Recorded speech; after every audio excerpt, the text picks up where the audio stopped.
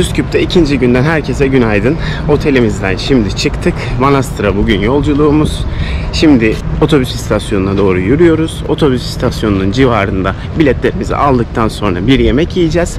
Ondan sonra yaklaşık 3-3,5 saatlik bir yolculuk gözüküyor. Burası da kaldığımız apartmanın bulunduğu bloğun ortası. Şimdi Manastır'a biletimizi aldık. Ee, otobüste sorduk, trende sorduk. Dün de başka bir lokasyon için sormuştuk hem otobüsten hem trenden bilet.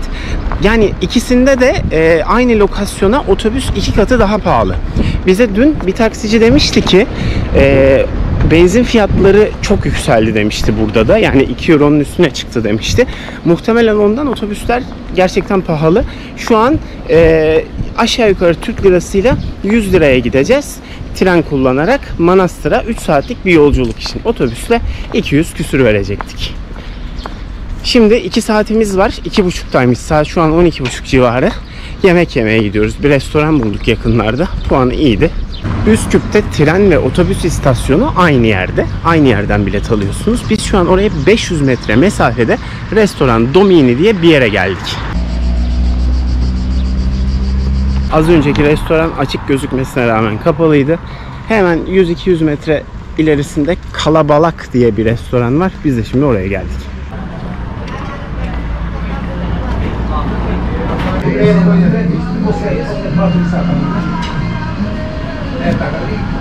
Ne düşünüyorsun yemek hakkında? Çok güzel bir yemek yedik. Çok güzel bir mekanda. Çok mutlu olarak ayrılıyorum şu an. E, toplamda 660 e, Makedon dinarı verdik. E, Burçak'ın yediği pilav da e, sebzeli tavuklu pilav yedi. Benim yediğim hamburger de aşağı yukarı aynı fiyattı. Benim yediğim hamburger de tavuklu ve kaymaklı bir hamburgerdi. Yani ne kadardı? 80 lira civarındaydı. 80-80 160 20'şer lirada biralara verdik. Toplamda 200 lira hesapla ayrıldık. Şimdi trene gidiyoruz. Bir sonraki durağımız Manastır ya da Makedonyalılara göre Bitola. Falan. Cidden treni hiç bu kadar iyi beklemiyordum. Bu kadar uygun fiyata aldığımız için ve ne zaman araştırırsak araştıralım hiç trenle ilgili bir bilgiye rastlamıyorduk. Hatta şöyle duymuştum. e, Makedonya'da tren yok diye duymuştum. Yani tren yolları var ama trenler iptal diye duymuştum. Gerçekten hani e, en ucuz opsiyon olmasına rağmen beklediğim bu Sovyet trenlerinden çok çok daha iyi bir konumda burası.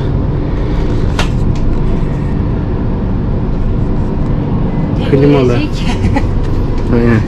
Klimalı, teknolojik prizimiz var. Prizimiz var evet. Mükemmel.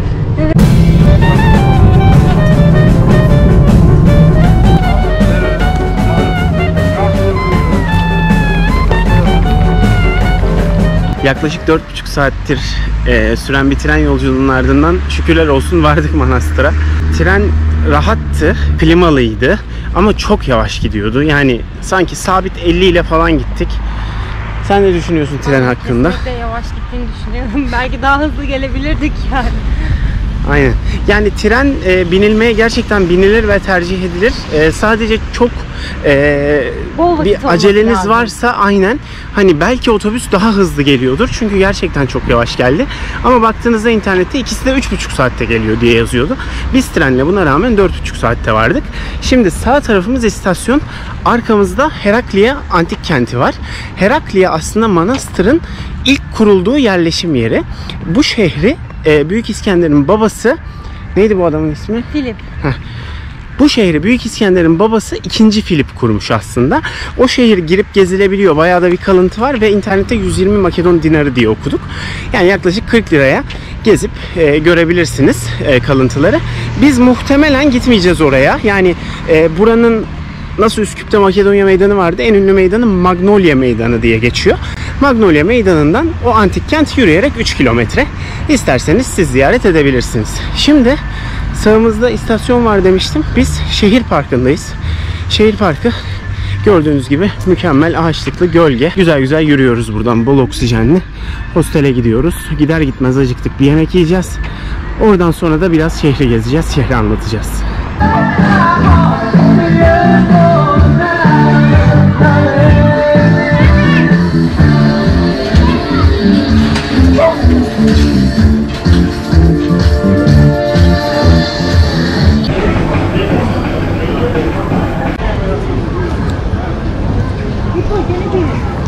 Beğendin mi? Evet. Açlık bastırmaca. Güzel ya. Şirok sokaktan yürüyoruz hostele doğru. Bu sokak en bilinen, en ünlü, en canlı sokağı manastırın. Gerçekten de canlı. Aynen. Mesela Manastır Askeri Lisesi'ni görmüştük arka tarafta. Orası Şirok sokağın e, nehir tarafında değil, şehir parkı olan tarafında bulunuyor. Oradan nehre kadar bu sokak devam ediyor. Çok güzel kafeler, dükkanlar var. Arkada Elsiva 2'yi de gördük. Çok tatlı gerçekten dükkanlar var. Oturup kahve içmelik. Şu az önce şehri kurduğunu söylediğimiz ikinci Filip'in heykeli. Manastırın ortasından geçen Dragor Nehri. Yine bu şehirde de arka tarafımızda gördüğünüz Şirok Sokak ve civarında görülecek yerler var. Ee, şimdi geçtiğimiz tarafta da yine Türk çarşısı da deniyormuş ama daha çok sanırım eski pazar deniyor. Eski pazar ee, bölgesi bulunuyor.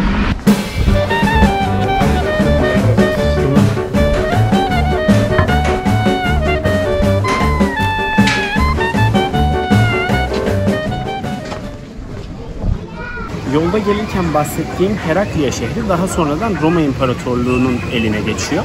Ve Roma İmparatorluğu bu şehre çok fazla kilise inşa ediyor. Osmanlı buraya geldiğinde e, bu şehirde çok fazla kilise olduğundan dolayı buraya manastır demiş. Daha sonradan Osmanlı gittiğinde de e, eski Slavca'da e, obitel demekmiş manastır ya da kilise. Buraya obitel demişler ve zamanla bitola halini almış bu kelime türeye türeye. E, Manastır e, Makedonya'nın ikinci en büyük şehri ve nüfusu 85 bin. Mesela Üsküp 530 binde. Arada çok büyük fark var ama buna rağmen 85 binle ikinci en büyük şehri. Şirok Sokak yani bu hemen sağımda bulunan sokak.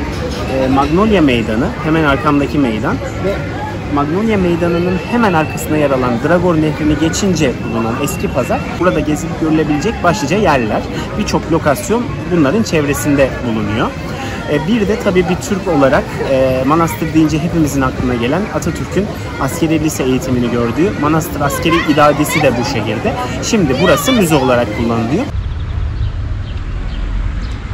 Şimdi tren istasyonundan hostele giderken, hostelimiz de şehir merkezine yani şehir merkezine giderken Atatürk'ün okuduğu liseyi gördük yol üzerinde. Şimdi burası artık bir müze olarak kullanılıyor. Ee, ve bir katının bir bölümü Atatürk için ayrılmış diye duyduk. yenilmez bir ok Canını hiçe sayarak öne çıkan, halkına ya istiklal ya ölüm emri veren büyük lideri, yaptıkları karşılığında beklediği tek şey, milletinin kurtuluşu ve çağdaşlaşmasıdır. Bombalara karşı süngülerin çekildiği Çanakkale'de bir şartlar parçası onun kalbine yığılır. Ama bu sevgisi Bu arada giriş 120 Makedon dinarı. 3,5'a bölün. 35 lira falan. Magnolia Meydanı'nda bulunan 3 görülmesi gereken eser var aslında. Bunlardan birincisi Büyük İskender'in babası Herakliye şehrinin kurucusu 2. Filip. Hemen arkamdaki heykel 2. Filip'in heykeli. Onun arkasında bir e, kanatlı erkek heykeli bulunuyor. Ve onun da arkasında bir saat kulesi var. Bu saat kulesinde de her 6 saatte bir güzel e, besteler çalınıyormuş. Onu yakalamaya çalışacağız. Şimdi Şirok Sokak'ta bir kafede oturuyoruz ve şehrin tadını çıkartıyoruz. Sanki hiç pazar değilmiş gibi.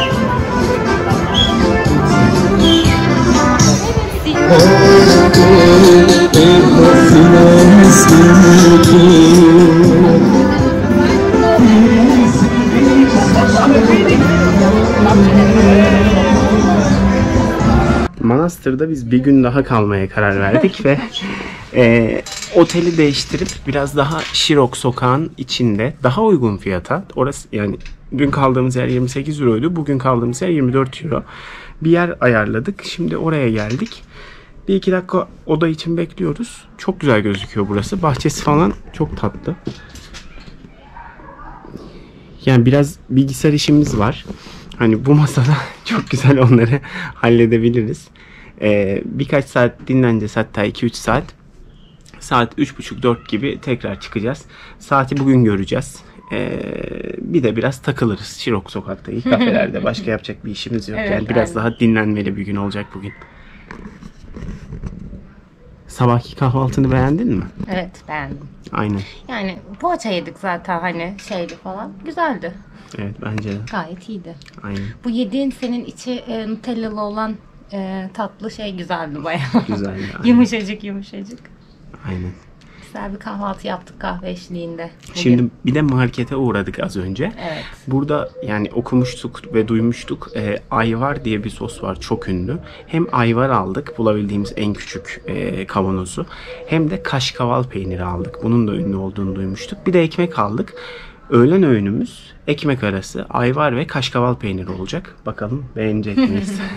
ve kaç öğün yiyebileceğiz? Yani fiyat performans olarak dışarıyla aynı mı, yarı yarıya mı, neye geliyor merak Evet. ediyoruz. Burası da Manastır'da kaldığımız ikinci hostel. İlk hostel Türk Çarşısı'nın o taraftaydı. Burası Şirok Sokağın çok yakınında. E, lokasyonu daha güzel. Hostelin kendisi çok güzel. E, biz keşke dün de burada kalsaydık dedik. Hatta bir bahçesi var. Yaklaşık 3 saattir o bahçede çalışıyoruz çok keyif aldık. İnanılmaz bir dinlenme oldu bizim için. Size de burada kalmanızı öneririz. Buranın ismi Guest House Via. Diğer kaldığımız otelin ismi Good Times Luxury Apartments'tı. Yaklaşık e, Ayvar'ın küçük kavanozuna 200 dinar ödedik. Peynire 100 dinar ödedik. 300 ekmeğe de 30 ödedik. 330 dinar ödedik. Aslında bu bile yaklaşık 100 liralık bir masraf yarattı. Bakalım kaç öğün yiyebileceğiz bunu ama maksimum 2 öğün yeriz muhtemelen.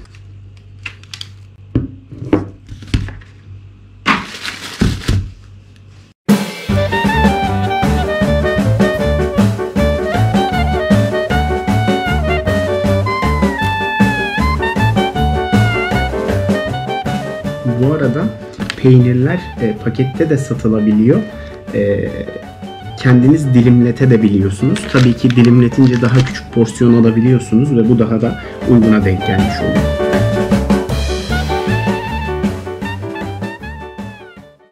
Ayvar tatlı salça gibi.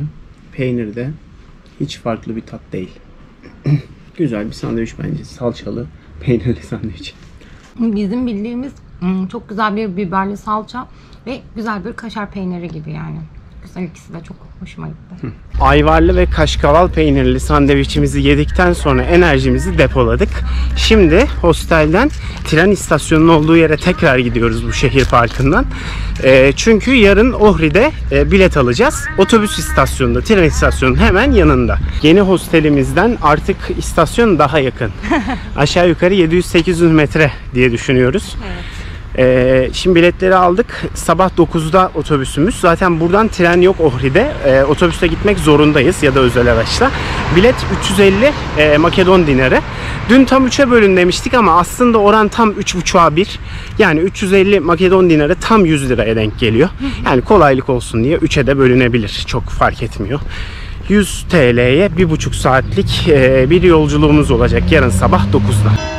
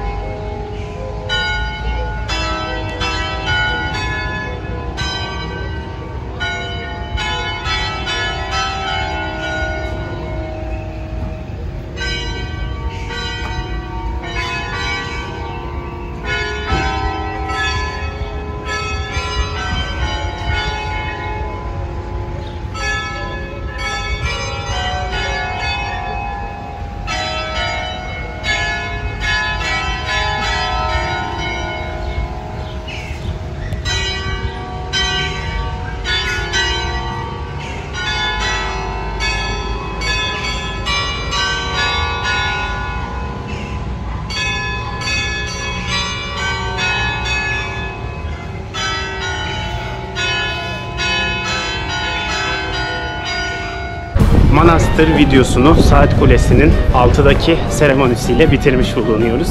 Yarın sabah 9'da Ohri'de yolculuğumuz var. Şirok sokaktan herkese el sallıyoruz.